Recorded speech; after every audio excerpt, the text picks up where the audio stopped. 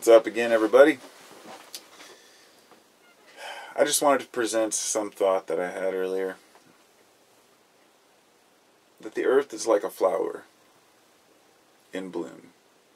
If you look at a time lapse version of, say, Pangea to where we're at today, and you imagine everything blossoming, exploding, a flower blooms like a little firework, but to us it takes a long time. You put it on a time lapse and everything changes.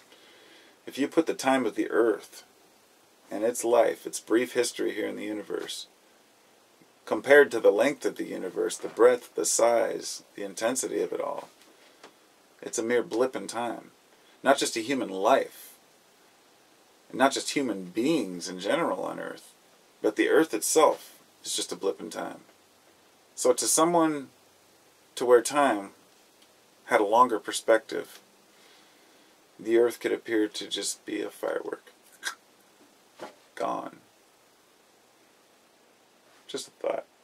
Just wanted to share it. I think these things quite often when I picture how we think things are so permanent, you know, rocks. But over time they decay. Everything decays. Everything falls apart. It's um I thought of this little uh, little quote yesterday. I said, "Are you an annual or a perennial? Plant a seed in your heart and find out." Just kind of reminded me of that. I thought um, I had the weirdest thought earlier that maybe nature, you know, people are like, "Why are humans here?"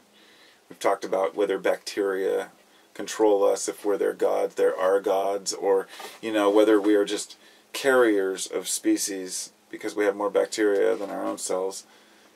And it got me thinking that did humans just evolve to transport species around the world, to homogenize the world? Just a weird thought I had. Uh, probably not, obviously not, but you know, whatever. It's worth thinking.